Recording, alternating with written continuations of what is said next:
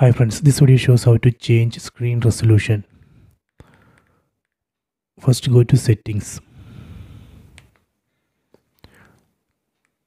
Select display and sound.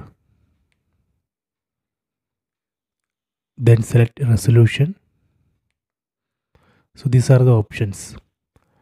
So we have 4K, then 1080p or Full HD, then uh, 720p or HD. So right now I have selected uh, Full HD or 1080p. So let me select 4K.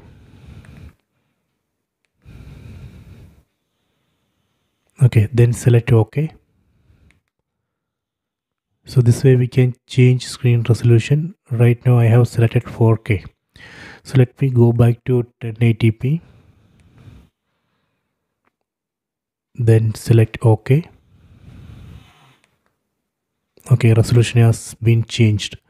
Okay so i hope you have enjoyed this video. Please subscribe my channel. Please like and share the video